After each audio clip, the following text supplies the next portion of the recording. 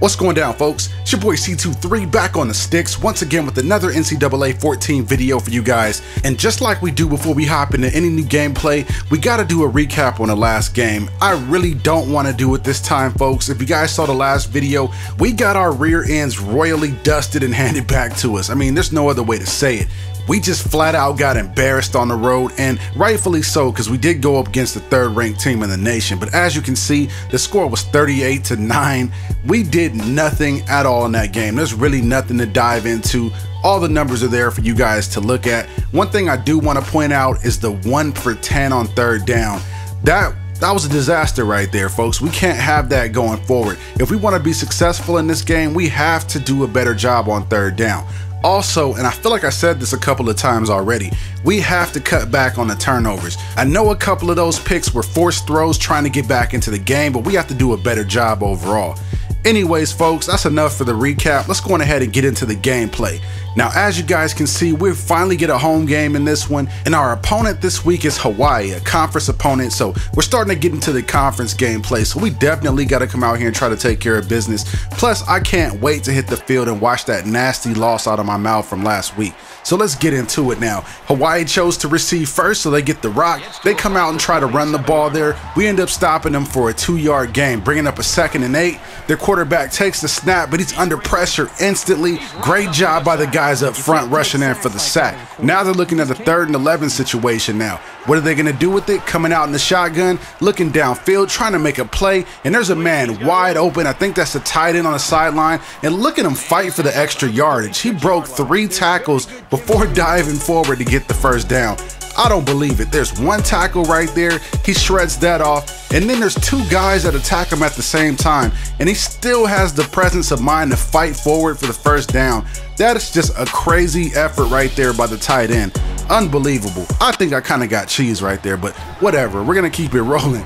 Next up, they go back to the ground game. Paul Harris rumbles ahead for a gain of four on the play. So now they're looking at third and six. Woolsey in the gun, handing the ball off to Harris again, and we're right there to stuff that play for only a gain of one. So we'll take it. We're getting off the field in this one. Now, what do we do on our first offensive drive? Let's go back to Gibson, continuing to move the ball through the air right there. He's been running that seam route pretty flawlessly all season long. That might be our bread and butter go-to play. And for the most part, throughout the season, Gibson's been able to get off the line and get open, so we might have to keep using that one.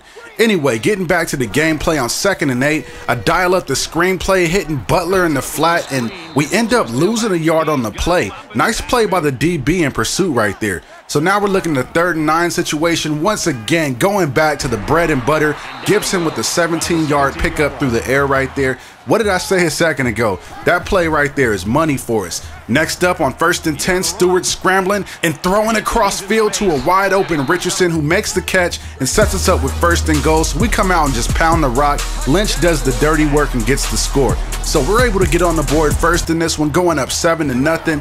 And Hawaii looks to come back and respond. Woolsey dumping over to the flat there to his tight end for a seven yard pickup, bringing up a third and three situation now. For some reason, I overloaded the right side of that formation, and of course they run left, so they end up picking the first down up right there, bringing up a first and 10. They go play action, and once again, the tight end burns me for 13 yards. So they're giving me a little dose of my own medicine right there, using the tight end in the passing game. Next play, first and 10. Harris tries to get the angle and hit the sideline with the run, but he only gains one yard on the play before he's tackled. But then on second and nine, everything is blocked up perfectly for them, so their running back's able to run in easy for a 13 yard touchdown run. So our defense kind of let us down a little bit in that one. But it's okay though, because on first and 10, we come out attacking through the air, throwing the deep bomb to Richardson right there for a 38 yard reception. Next play on first and 10, Stewart dumping off in the flat, and Butler's right there to make the catch. He only gains three on the play, but James Butler's been pretty much banged up the entire season, folks. I think he's only played in about one or two full games, but look at the catch right there by Henderson. Oh my goodness. Hassan Henderson going up and making the Madden 16 aggressive catch. What a nice play right there. So now we get a little bit of breathing room. All we have to do is come out here and play defense. And the drive starts pretty well with the one yard loss on the run play right there, bringing up a second and 11. They go short, dumping it off in the middle of the field. Stubblefield makes a seven yard catch on the play, but then they go back to the ground game on third and four, and we are all over that. Harris gets no gain on the play. So we end up holding on fourth down and we get the rock back. So what do I do in return? Go right back to the ground game with Butler, and he stumbles forward for a nice 10 yard pickup. That might be his best run of the day. But on second and 10, we go up top once again.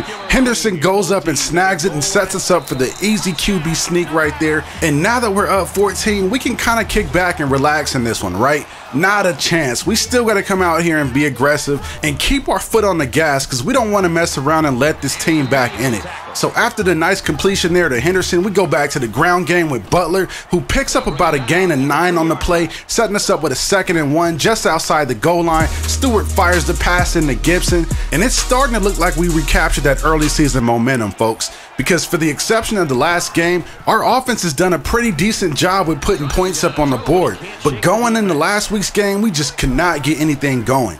Anyway, though, getting back to the gameplay on second and 16, once again, our defense does a great job at containing the run. Now they're looking at the third and 15 now, and the pressure starts getting there, forcing the QB to throw in the coverage. So we're able to bat that down and force them to punt. A couple plays later in that drive, though, we go back to Butler in the ground game, and for whatever reason, we're only getting about two or three yards a pop. We definitely have to do a better job up front. But on second and eight, though, after going play action, Stewart scrambling out the pocket, dialing the playmaker to Gonzalez, throwing the ball in for an 18 yard touchdown catch. And just like that, we are back in the W column, folks. We end up taking this one 38 to 7.